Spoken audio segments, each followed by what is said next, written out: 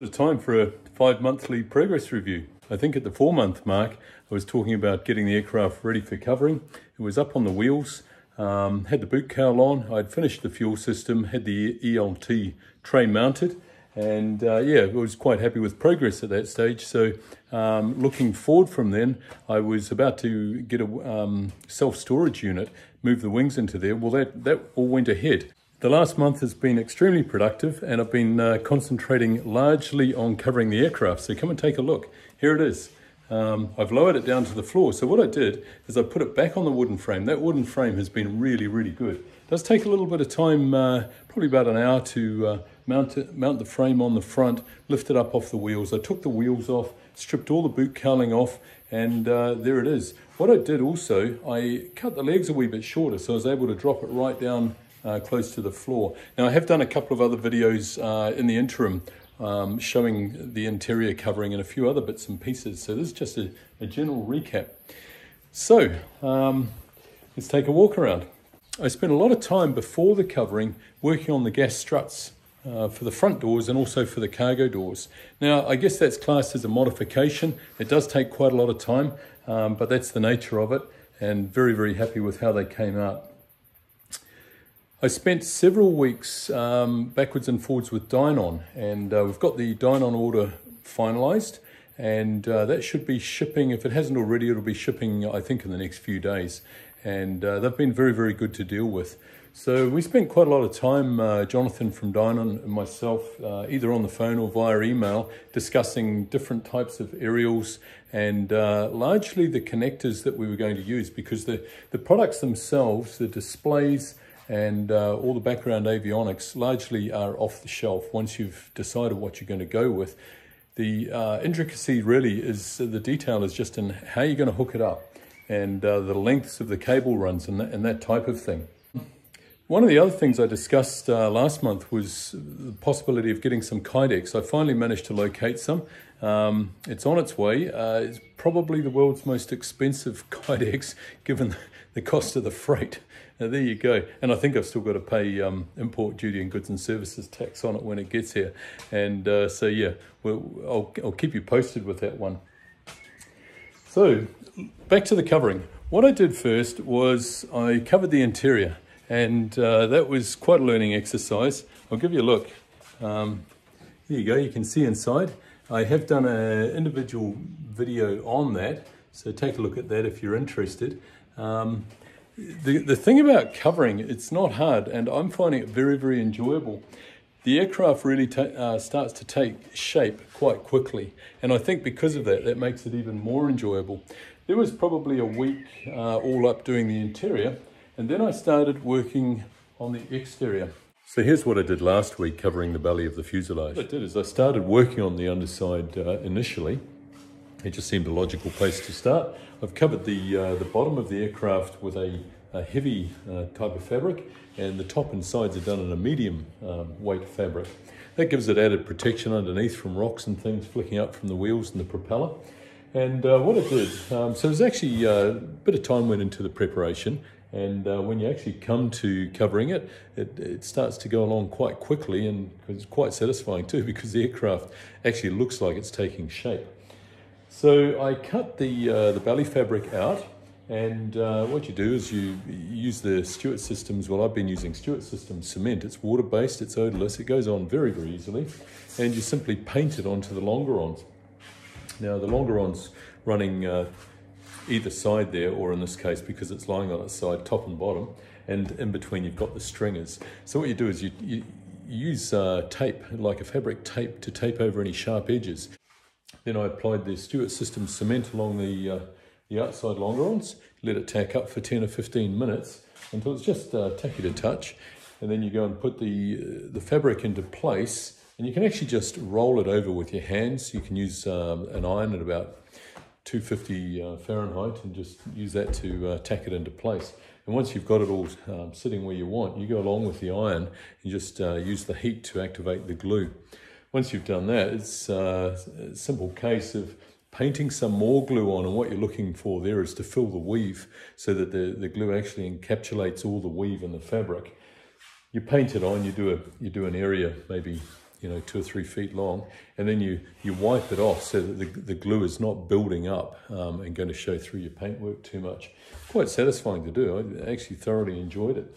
So I did the bottom uh, panel first, then I did the sides, and then I did the top last. So what you, what you end up with is the, the bottom piece of fabric wraps around that longeron onto the inside. It, uh, it gives it quite a lot of surface adhesion. Then you put the side fabric on, that overlaps the bottom fabric. You've got to overlap it by uh, at least an inch minimum. And then uh, what you do, so you can actually see a, probably a, a, little bit of a line actually showing through there slightly. That's the edge of the side fabric. And then you put a tape over the top and you center that on the edge of the uh, top layer of fabric. So that, that encapsulates both pieces of fabric and uh, the whole lot is encapsulated by the Stewart Systems uh, glue. It's very, gives you a very, very strong uh, joint there. Done a lot of work up the front here. Uh, just strengthened it all up first with some, um, I, I, ran some lateral uh, tapes first before covering it up with the, with the finishing tape on top. I spent a lot of time, um, actually just yesterday, doing these inspection ports. I've still got um, another one to go down here. I decided to wait until I'd covered the vertical fin and I'll do that either tonight or tomorrow. If I zoom in, you can probably see a little bit uh, more of the detail on these inspection ports. I've made a number of plates up here. This is to, to cover the, the small inspection ports. The hard part for these is actually going to be locating the hole in the correct place. You know, they're, they're all match drilled, but it occurred to me, I don't know how to get that hole in the, in the right area. It's not in the center, um, unless it's purely coincidental. So I think I'm going to make a template up out of cardboard. Um, the other thing I'll do is I'll, I'll, make it oversized and put a grommet in it. So this is uh, one of the ones that will go down the back and I'll just show you what, I, what I've done here. That's going to mount um, around about there. I've put a few bends in it because it actually curves. I'll glue it to the fabric. So firstly I've actually got to install the nut plates. Then I'll glue it to the fabric and uh, then I'll put more fabric over the top of it and it will end up looking like these ones. It's a little bit tricky because once you've got the nut plates installed on the inspection plate, of course it won't sit flush on the fabric. So then what I do is I take the soldering iron and uh, put holes through the fabric. The, the, soldering iron does a really wonderful job of melting fabric, sealing the ends, but you've just got to be very, very careful that you only melt the portions uh, that you want. I've only just uh, done the vertical fin here, actually covered one side last night, one side this afternoon.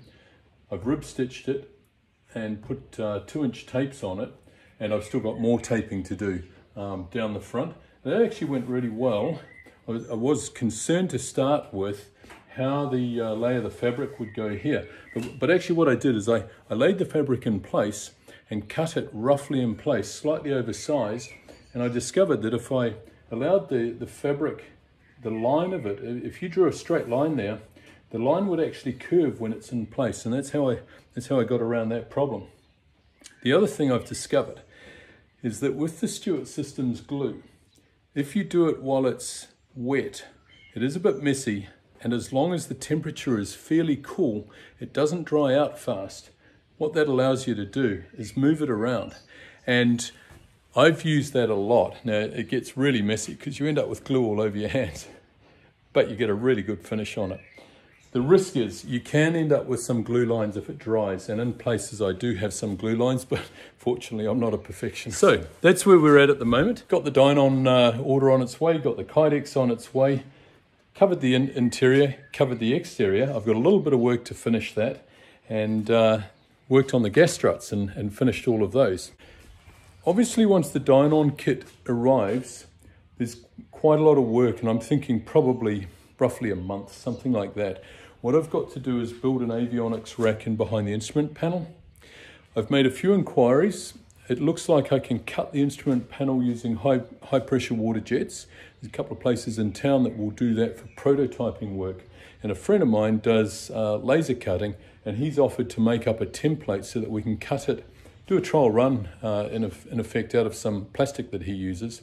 And he's going to give me um, I, I guess it's like a, uh, a program or a data sheet that, that they make up to do that. Once we know that it's correct, and I'll take that down to the prototyping guys and get them to cut the instrument panel itself.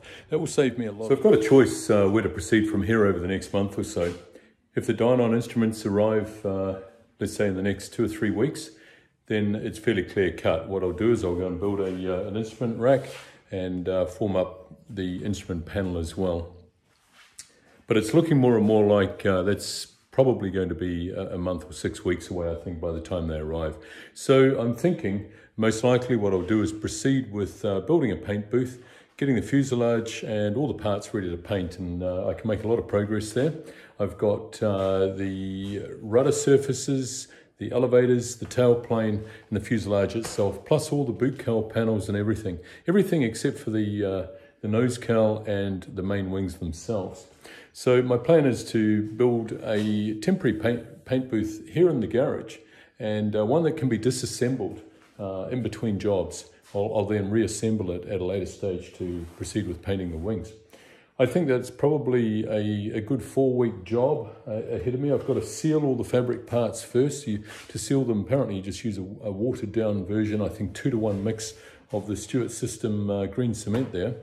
You then uh, spray on a, a, filler, two or three uh, cross coats of filler, and sand it lightly back in between and then it's ready for painting. I've got no experience uh, in spray painting at all. I've got a lot to learn, a lot of research to do, videos to watch, manuals to read, um, but it's all there and uh, I'm really looking forward to it.